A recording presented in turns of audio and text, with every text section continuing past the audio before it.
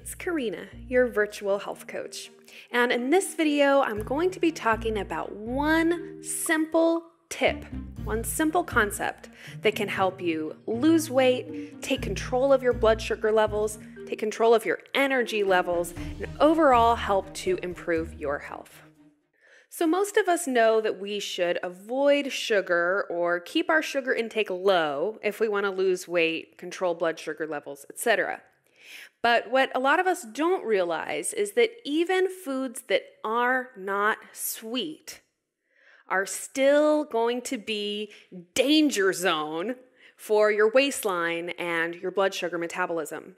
So in this video, I'm going to show you a chart uh, of some different foods and how they fall on what's called the glycemic index. Now, the glycemic index is just a way of uh, quantifying how much of a blood sugar spike you get from certain foods.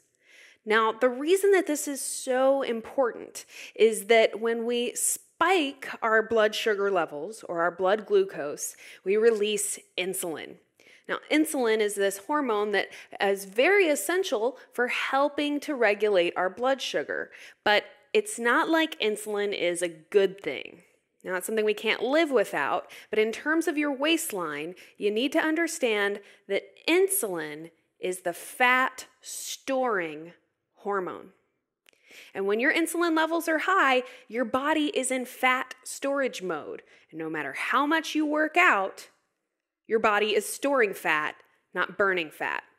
So, the secret or the tip is to help keep your insulin levels low. And in so doing, you're going to prevent weight gain, you're going to keep your body burning fat, metabolizing fat, uh, and this is also going to be very effective for helping to uh, prevent things like diabetes too. Um, and overall, once we control our insulin levels, we'll also have improved energy and things like that as well. So, when insulin is flowing through your bloodstream, your body is storing fat. And so, these foods are going to be the foods that cause the release of insulin or that cause a blood sugar spike. And so, here we can see in this list, uh, we've kind of got them broken down. So, the higher the number, the higher the glycemic index, or the higher the blood sugar spike you get from eating the food. So, right here at the very top, we have fruit roll ups, which probably isn't a big surprise. Now, just for reference, I want to point out that table sugar is about halfway down here on my board at 65. So, actually, higher glycemic than table sugar are your Skittles, your white bread, your potato chips, corn flakes, and even a baked potato. So, I know I say this a lot in my videos, and I wanted to make this video to hopefully uh, just really drive home the point and make it really clear that these foods baked potatoes, cornflakes, potato chips, and white bread are all just as dangerous for your waistline and your blood sugar as eating table sugar or eating a fruit roll up. So, as we look at this chart, we can also notice. Um, that some of our fruits are rather high glycemic. And so watermelon is actually the highest, and so I put that on here. Uh, but you'll notice that even the highest glycemic fruit is still not as bad for you as potato chips, cornflakes, baked potatoes, and fruit roll ups. Just saying. Um, also, when we eat fruit, we get all kinds of nutrients uh, that we don't get from any of these things. So, even though we do get somewhat of a blood sugar spike, we also get a whole lot of nutrients. Fruit is a very healthful thing to eat. Now, again, if you're someone who's very cautious with your blood sugar levels or you have a lot of type 2 diabetes uh, in your family that you're trying to prevent, uh, then you want to probably avoid those real high glycemic fruits as well. Moving down the chart, we have uh, Coca Cola, Hershey bars. Uh, then we have apples down here at 38. So I just wanted to kind of show that the fruits uh, are going to vary uh, between, you know, approximately 72. Then they get lower. The lowest GI fruit is going to be cherries down here at 22. Now, what's also cool is that dark chocolate is way down here. Uh, so here's the Hershey bar at 55, dark chocolate at 22. So let's talk about why that is. When we consider the factors that go into this glycemic index number, um, of course, part of the equation is the amount of sugar that is contained in the food. But then another consideration is how much fiber and fat are also included in the food. So, when you look, for instance, at the glycemic index of a Snickers bar, uh, it actually is lower than the glycemic index of a Hershey bar. And it's because of the addition of those nuts to the Snickers bar that reduce the glycemic index. So, kind of the take home message for you is that you can reduce the glycemic load, which is like the glycemic index of all the things put together into a meal. And then the uh, combined glycemic indices are known as the glycemic load. So you can reduce glycemic load by uh, adding sources of fiber and sources of healthy fat when you consume uh, sugar. So, dark chocolate is lower glycemic than milk chocolate, uh, primarily because it has lower sugar right? And so typically you get more of that strong chocolatey taste. Sometimes uh, really dark chocolate can even be slightly bitter. But if you're someone who is really used to eating milk chocolate, I encourage you to just start easing your way into darker and darker chocolates. If you immediately go to a 70 or 80% dark, you're probably not going to find it very palatable. Uh, I'm at the point now where I like my chocolate, the darker, the better. Um, but if you're a milk chocolate eater, just start gradually moving yourself over to darker chocolate. Another thing I just have to add is that if you eat raw chocolate, you actually get a huge amount of health benefits. There are a lot of minerals contained in the raw cacao bean, uh, and there's also a great amount of fiber if you actually were to eat the cacao nib um, or raw cacao bean. So, when you look at the ingredient label on your chocolate bar, oftentimes what you'll see is cocoa processed with alkali. That's the bad stuff, okay? You're not getting any nutritional benefits from that. Uh, once it turns into cocoa, that means it's processed. So, what you want to look for on the label is cacao. Uh, sometimes it'll even say raw cacao, or maybe it'll say cacao nibs. Uh, but that is such an important thing to look for. And in my opinion, uh, raw chocolate satisfies my chocolate craving even more. So I kind of consider it a double win that it also gives you health benefits too. So now let's look back at our chart again. And the simple tip that I'm talking about in this video is not that you need to memorize this chart.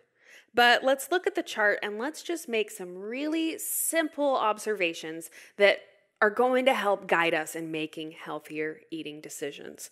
Um, so, number one, first thing that we can notice is that your natural foods, your whole foods, vegetables, legumes, nuts, uh, and even fruits, depending on the fruit, um, are gonna be your extremely low glycemic foods. Again, cherries ranking down here at 22. Uh, most of our vegetables, even including summer squash, which is kind of a sweet vegetable, uh, ranks in around 15. So I just kind of lumped them all together here. There is a little bit of variation between the vegetables, uh, but it's pretty negligible when we're talking about such a low, low, low glycemic index. Uh, nuts down here as well. Avocado doesn't even have a number. It's so low glycemic that it doesn't even register on the glycemic index. That means it doesn't spike your insulin levels uh, a significant amount at all. So, if we can just try to eat from this lower part of the board, uh, that right there is going to completely change our body and is going to help us take control of our weight. So, again, your fruits, your vegetables, your natural foods. Another simple observation we can make is that the processed foods are really high glycemic your corn flakes, your potato chips, your white bread, your Skittles, your Coca Cola, your Hershey bars. So you could memorize this thing and if you wanted to, but But I think it's a lot easier to just make a simple statement like processed foods are generally very high glycemic and should be avoided for weight loss and health. So, another thing that I want to point out here is the difference between eating fruits and eating things that are made from fruits. Now, granted, a fruit roll up contains a lot of added sugar and stuff like that as well. I actually don't have fruit juice on the board, but it's worth noting that where apples fall at a 38, apple juice would fall somewhere up here with a much higher glycemic index. So when we remove the fiber from the fruit, that is going to increase the glycemic index. So it's always going to be preferable to eat the actual fruit the apples or the watermelon than to consume the fruit juice. So, at this point, I just want to clarify that the glycemic index is not just based on the amount of sugar in a food, but how quickly the food breaks down, or how quickly that food you eat results in a spike of your blood sugar or a release of insulin. So, fruit roll ups are going to have a faster release of sugar into your bloodstream than watermelon, Skittles, or Coca Cola. So, another thing to consider and another way to use the glycemic index to our advantage is to keep in mind that the lower glycemic foods, okay, the lower numbers, are foods that take longer to break down and for this reason, they're going to help satisfy hunger longer.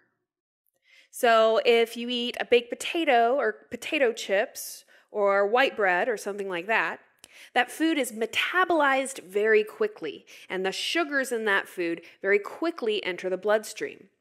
At this point, we get that blood sugar spike that I've talked about in several different videos. This is where insulin is released to try and bring that blood sugar level back down. So, uh, from the perspective of satisfying your hunger longer, you want to opt for those lower glycemic foods because they take longer for your body to metabolize. Um, and for the uh, purpose of trying to keep our insulin levels low, because insulin is that fat storage hormone that we want to try and keep minimal in you know flowing through our body.